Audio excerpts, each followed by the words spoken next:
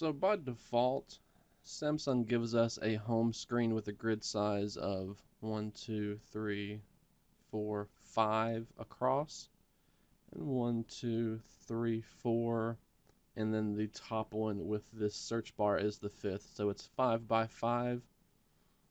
We also have a dock right here, which we can have up to five different icons. Now for the dock, you can just add in and remove applications at will, but to change the home screen grid size, we have to dive into the settings. So to change the home screen grid size on the Galaxy S8 and the Galaxy S8 Plus, we need to tap and hold on an empty spot of the home screen. Then we're going to tap on the home screen settings button down here.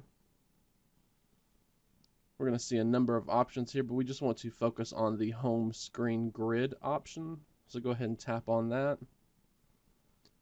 And as I said before, by default it's set to 5 by 5 We also have a 4 by 5 option, and we get a live demo of what that will look like. And we have a 4 by 6 so it's 4 across and then 6 vertically. So just go ahead and pick which screen grid size you want go ahead and tap the apply button at the top.